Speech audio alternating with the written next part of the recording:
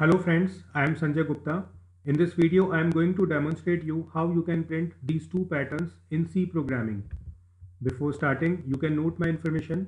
You can follow or subscribe my YouTube channel through this link that is youtube.com slash Sanjay Gupta underscore tech school. You can download my Android app that is TechImage which is available on Google Play. Now to print this first pattern, first I am writing the code to print starting 5 rows 5, 4, 3, 2 and 1. Then I will be printing remaining 5 rows and then I will convert that code for printing this pattern.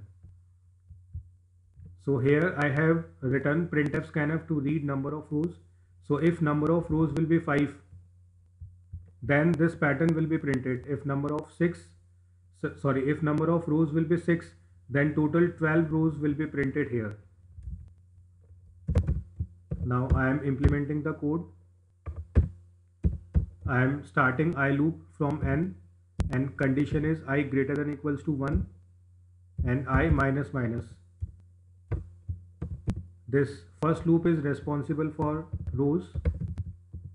Inside this loop I am using another loop that is j equals to 1 j less than equals to i and j plus plus. This loop is dependent upon i and it will print asterisk on console. And this loop is for columns. After completion of this loop slash n will be displayed. So this way starting 5 rows will be displayed on console with this code. I am executing this code you can see the output. Starting 5 rows are displayed here. You can compare it with this. Now I have to print remaining 5 rows. So for that purpose I just have to copy this code and I am pasting it here.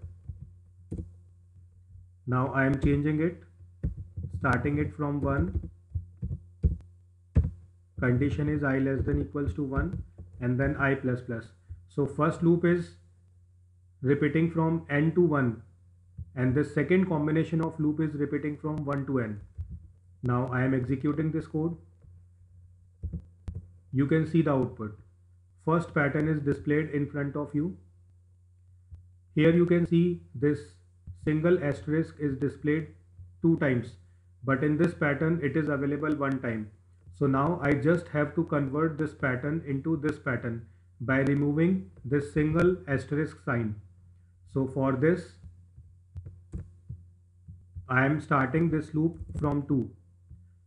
So it will not print a single star because it is printed with this above combination.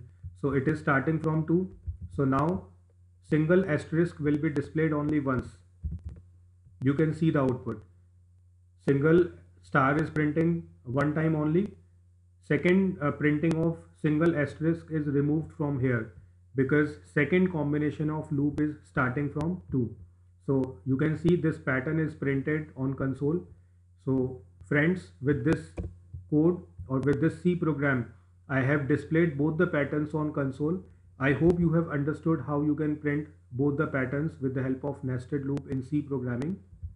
If you want to watch more programming related videos, you can follow my YouTube channel through this link that is youtube.com slash Sanjay Gupta underscore tech school.